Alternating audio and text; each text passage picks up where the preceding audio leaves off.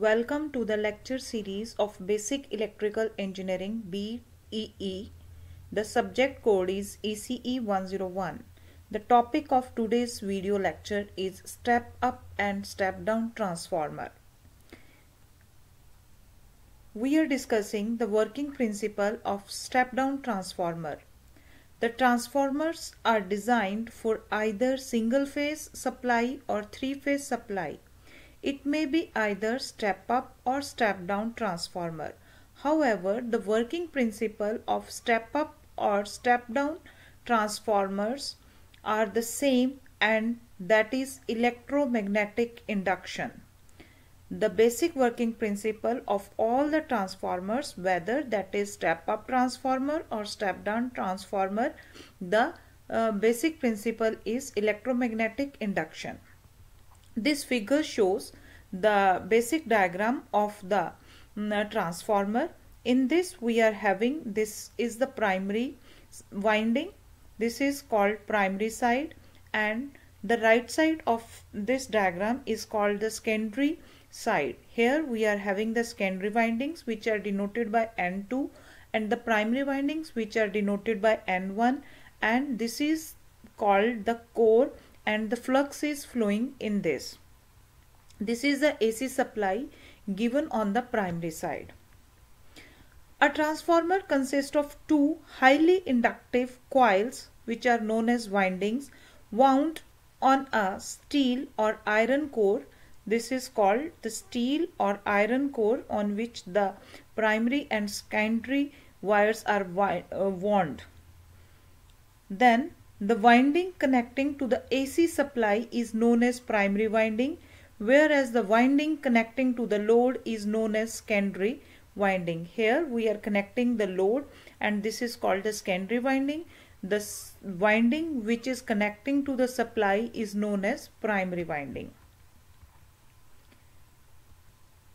The primary and secondary windings are isolated from each other as well as from the iron core electrically. The electrical power is transferred from primary circuit to secondary circuit by magnetic flux. The symbolic representation of the transformer is shown in figure. This flux is due to the AC supply because of this AC supply the EMF is induced in on the primary side and because of this EMF the flux is produced and because of this the E2 is produced and all the process is due to the electromagnetic induction. Now we are discussing the detailed working principle when the primary winding is connecting to the AC supply and AC current starts flowing through it. Here we are shown as shown in this figure we are having the primary uh, side and this is connecting to the AC supply. So AC current starts flowing on the primary side. The AC current of the primary winding produces an alternating flux phi in the core. Because of this primary current, the flux phi is produced in the core. Most of this alternating flux links with the secondary winding through the core. Because of this core, this flux is linked with the secondary winding. This alternating flux induces a voltage into the secondary winding according to the Faraday's law of electromagnetic induction. The EMF is induced in the secondary winding is due to the mutual inductance Hence, it is known as mutually induced EMF. The EMF induced in this is known as mutually induced EMF and it is denoted by E2. The induced EMF in the secondary and the primary depends upon the rate of change of flux linkage that is n d phi upon dt means uh, the induced EMF E1 and E2 on the primary as well as on the secondary side depends upon the rate of change of flux in this side. So this shows the working principle. On this we are having the AC supply and uh, because of this AC supply the current electromagnetic current is flowing and because of this the magnetic flux is produced and here we are connecting a load because of this uh, the, uh, the bulb starts glowing. So this shows the working of a transformer. Then the rate of change of flux in the secondary and primary circuit is the same.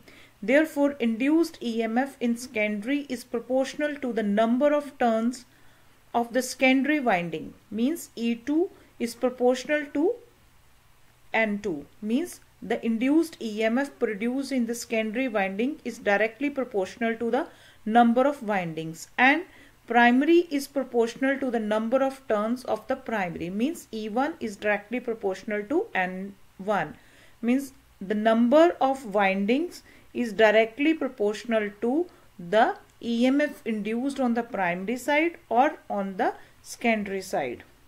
If the secondary turns N2 are less than primary turns N1, the secondary induced EMF will be less than primary and the transformer is called step down transformer.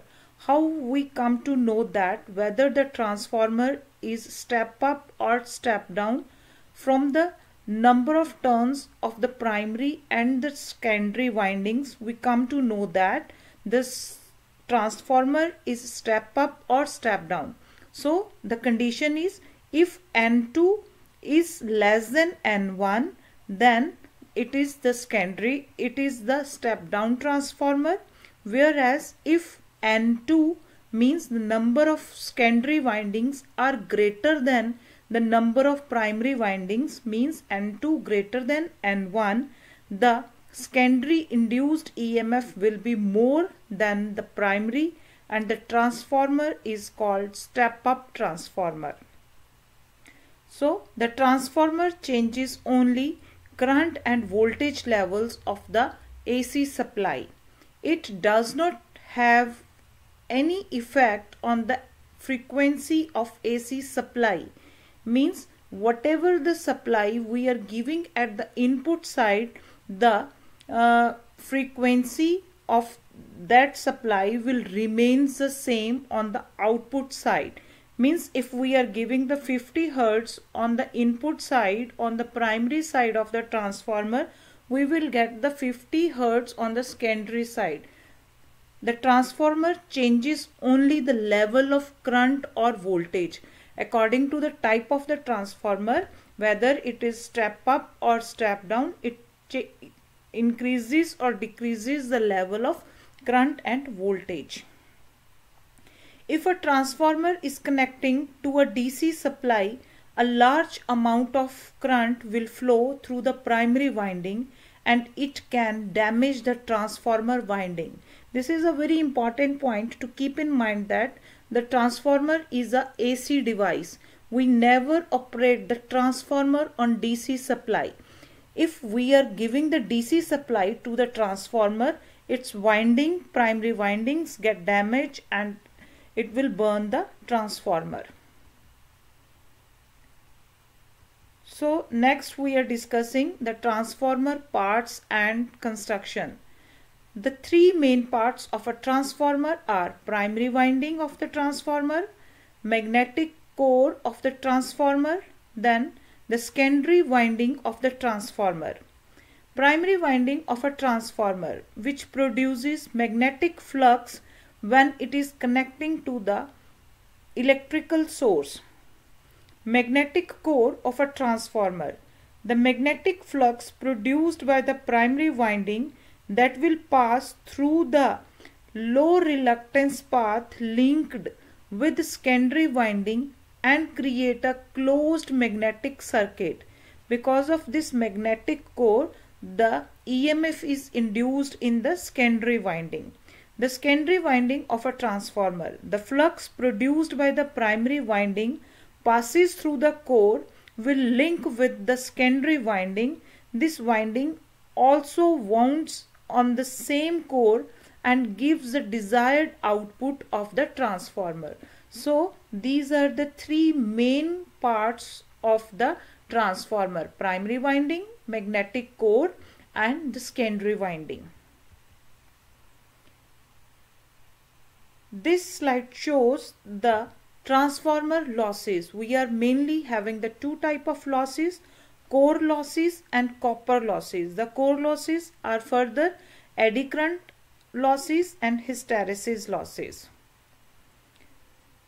Eddy current losses, these are fixed, always present and related to the transformer construction. Eddy current losses are reduced by lamination. They produces more heat. On the other hand, hysteresis losses reduced by using special steel in lamination. When we are using the steel laminations, it increases the cost of the transformer. This diagram shows the step down transformer. As shown in this figure, on the primary side we are having N1 is greater large number of N1 as compared to the number of windings N2 on the secondary side means that N1 is greater than N2 or we can say N2 is less than N1. The uh, EMF induced in the secondary is low as compared to this. So it reduces the um, voltage. So that is why it is called step down transformer. This shows the uh, practical or the commercial figure of the step down transformer. Then we are having the step up transformer it is opposite to the step down transformer. On the primary side we are having the less number of windings as compared to the secondary windings. N2 is greater than n1 so more voltage is produced on the secondary side. So that is why it is called the step up transformer. This is the uh, commercial figure of the step up transformer then key difference between step up transformer and step down transformer. When the output voltage is greater than its input voltage, it is called step up transformer. Whereas in step down transformer, output voltage is less. In a step up transformer, the low voltage winding is the primary winding and high voltage winding is secondary winding whereas in step down transformer low voltage winding is secondary winding. In a step up transformer the current and magnetic field is less developed in the secondary winding and it is highly developed in the primary winding whereas in the step down transformer voltage is low on the secondary and thus the current and magnetic field is high. Then in a step-up transformer, the primary winding is made up of thick insulated copper wire and the secondary is made up of thin insulated copper wire. Whereas in the step-down transformer, the output current is high, so the thick insulated copper wire is used for making secondary wire. Step-up transformer extends the voltage from 220 volt to 11 kV or above. Means uh, this is the higher range of step up transformer. Whereas step down transformer reduces the voltage from 440 to 220 or 220 to 110 volt or 110 volt to 24 so these are the different ranges of the step down transformer so this is the tabular uh, differences between the step up and step down transformer. By definition, step up transformer increases the output voltage but step down transformer reduces the output voltage. On the basis of voltage, input voltage is low while the output voltage is high. On the other hand, step down transformer, input voltage is high while the output voltage is low. Windings high voltage winding is the secondary winding. On the other hand, in the step down transformer, high voltage winding is primary winding. Current. In the step-up transformer, current is low on the secondary winding, but in the step-down transformer, the current is high on the secondary winding. Rating of output voltage, it is 11,000 volts and above, but in the step-down transformer, it is 110 volt, 24 volt, 20 volt, 10 volt, etc. Sizes of the conductor. Primary winding is made up of thick insulated copper wire. On the other hand, in step-down transformer, secondary winding is made up of thick insulated copper wire. Applications where the step-up transformer is used, power plant, X-rays, X-ray machines, microwaves. In the step-down transformer, applications are doorbell, voltage converters, etc. Then one thing which we keep in mind that a same transformer can be used as step up or step down transformer. It depends upon the way in which it is connecting in the circuit. If input supply is given on the low voltage winding, then it becomes step up transformer. Alternatively, if the input supply is provided on the high voltage winding, then the transformer becomes step down transformer. So the single transformer can be used as step up or step down but it depends upon where we are giving the applied voltage. This diagram shows the high voltage transmission line. This is the power plant